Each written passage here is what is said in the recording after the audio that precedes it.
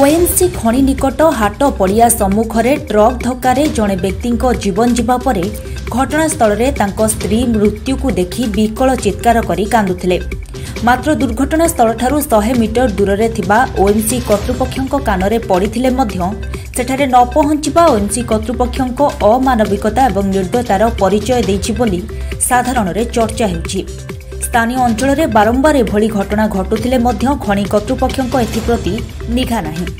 ସେହି ଅଞ୍ଚଳରୁ ସରକାର କୋଟି କୋଟି ଟଙ୍କାର ରାଜସ୍ୱ ନେଉଥିବା ବେଳେ ସେଠାକାର ଆଦିବାସୀ ଲୋକଙ୍କୁ ଅବହେଳା କରାଯାଉଛି।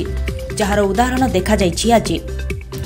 ଟ୍ରକ୍ ଧକ୍କା ତଳ ଜାଗର ଗାଁର ଆଦିବାସୀ ବୃଦ୍ଧ ସିପାହୀ ସେନାପତି ଘଟଣାସ୍ଥଳରେ ମୃତ୍ୟୁବରଣ କରିଛନ୍ତି।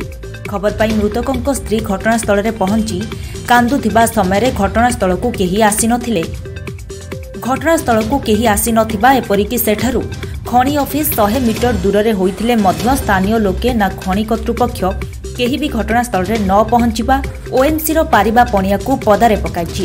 ଏପରିକି ଖଣିରେ ବାରମ୍ବାର ଦୁର୍ଘଟଣା ହେଉଥିଲେ ସୁଦ୍ଧା ଏଥିପ୍ରତି ଯେପରି ଓଏନ୍ସିର ନିଘା ନାହିଁ। କେବଳ ଆମ୍ବୁଲାନ୍ସ ଉଦ୍ଘାଟନ କରି ଗଣମାଧ୍ୟମରେ ଓଏନ୍ସି କର୍ତ୍ତୃପକ୍ଷ ନିଜର ପାରିବା ପଣିଆ ଦେଖାଇ ହେବାକୁ ସାଧାରଣରେ ତୀବ୍ର ନିନ୍ଦା କରାଯାଇଛି। କେନ୍ଦୁଝରରୁ ଅଞ୍ଜନ କୁମାର ରଣାଙ୍କ ରିପୋର୍ଟ Odisha Voice 24.